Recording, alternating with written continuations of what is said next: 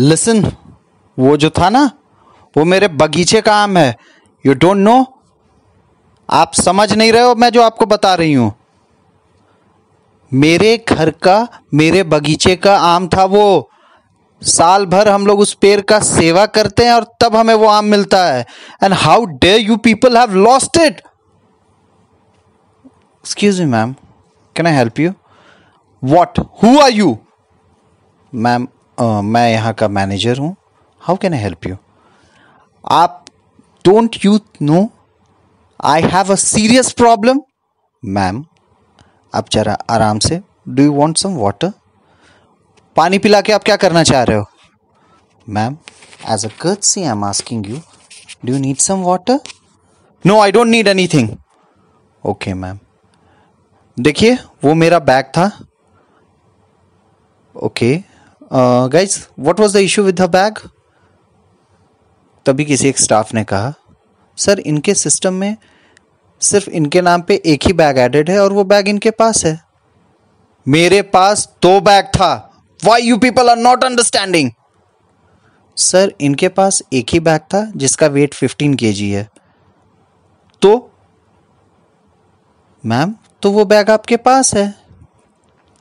Staff ने बताया राजीव चुपचाप उनके कन्वर्सेशन को सुन रहा था। Excuse me excuse me what I am telling you मेरे दो बैग थे, दूसरा बैग क्योंकि आप लोग मांग रहे थे चार सौ रुपए per K G and I was not ready to pay for that but ma'am excess bag is you have to pay that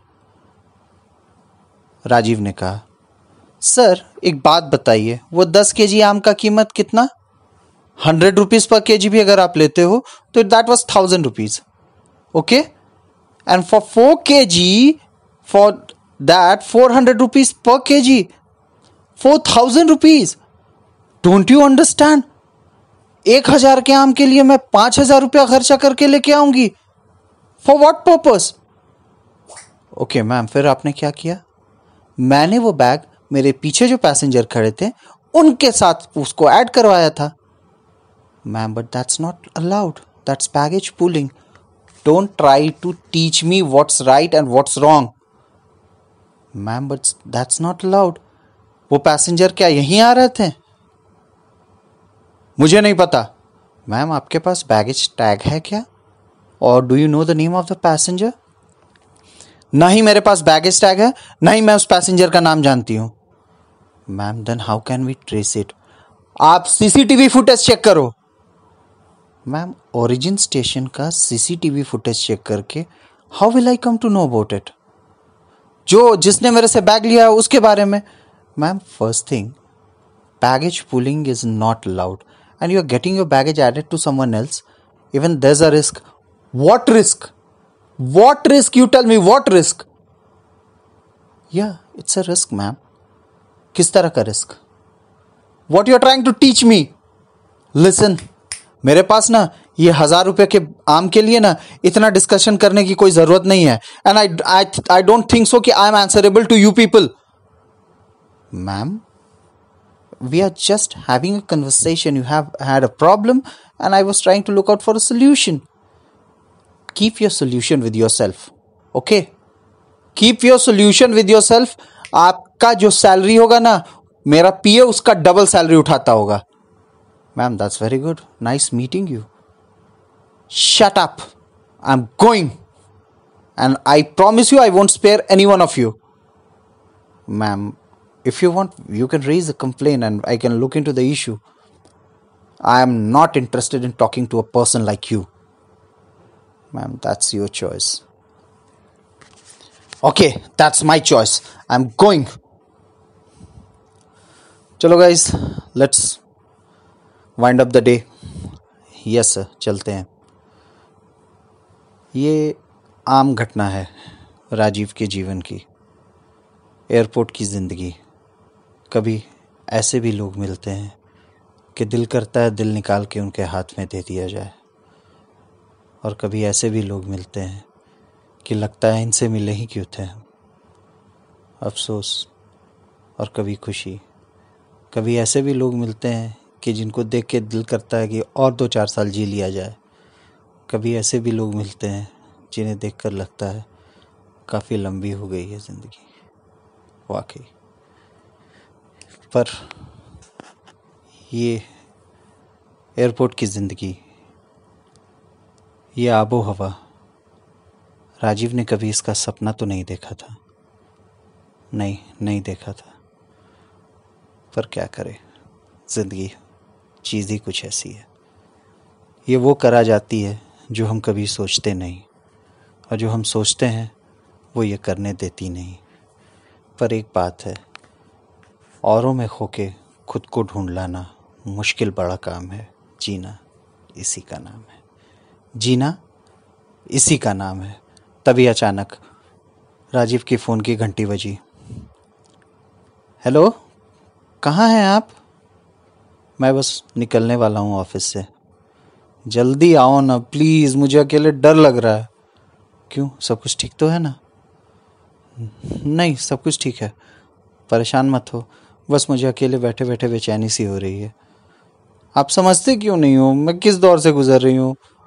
मैं समझ रहा हूँ। आता हूँ मैं। I am just winding up and I am coming okay जल्दी आना please yeah yeah I am coming don't be worried ये रचना थी राजीव की धर्म पत्नी हाँ तीन साल हो गए शादी के। अभी उम्मीद से है। राजीव, इन दिनों बड़ा खुश रहता है। बहुत ज़्यादा खुश। जो इंसान ऑफ़िस और घर के बीच का कोई अंतर ही नहीं समझा करता था फ़्लाइट आखिरी अगर आठ बजे जाती थी तो ग्यारह बजे भी घर के लिए निकलना पड़े तो बहुत बड़ी बात नहीं थी। अब साढ़े आठ भी उसके लिए देर हुआ करता है। हाँ। वाकई। एक जैसा ही माहौल तो था दोनों पति पत्नी का। काम भी साथ ही किया करते थे। हाँ थोड़ा अलग था। एक जम, ज़मीन पे था एक आसमान पे। पर था तो ज़िंदगी एक जैसा ही। अलग अलग लोगों से मिलना अलग अलग भाषाएँ जानना। पर हाँ था, यही ज़िंदगी था। सब कुछ ख़त्म करके राजीव घर की ओर गया। आ गए? हाँ बाबा, आ गया।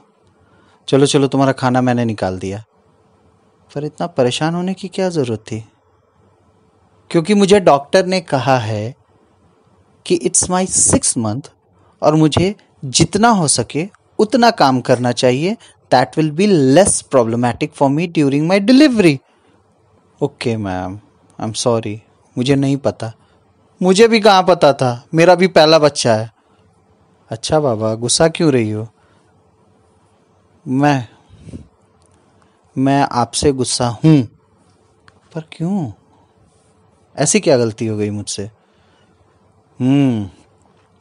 मैं आपका कवर्ड साफ़ कर रही थी। ओ माय गॉड फिर? काफ़ी गंदा था क्या मेरा कबर्ड नहीं कबर्ड तो गंदा नहीं था, पर मेरे हाथ कुछ लगा। क्या लगा? आपकी डायरी। मेरी डायरी? हाँ आपकी डायरी। अच्छा फिर? मैंने वो पूरा पढ़ लिया। एक दिन में आपने मेरा पूरा डायरी पढ़ लिया? मैडम, बत्तीस साल लगे हैं मुझे वो डायरी लिखते लिखते आपने एक दिन में पढ़ लिया? मैंने ये कब कहा कि मैं, मुझे आज मिला है वो डायरी? अच्छा फिर? फिर क्या? You you remind me to kill you whenever I am free ma'am you are free you are free you can kill me at any point of time you have already killed me मज़ाक नहीं कर रही हूँ. You just remind me to kill you whenever I am free पर क्यों?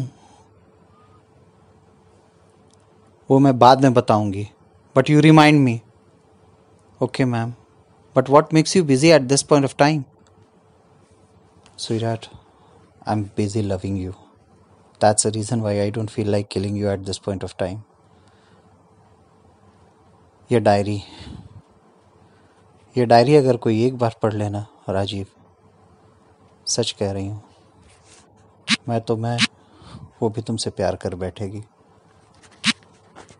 मैंने आपको भी नहीं पढ़ाया था ये आज तक। यही तो गलती की।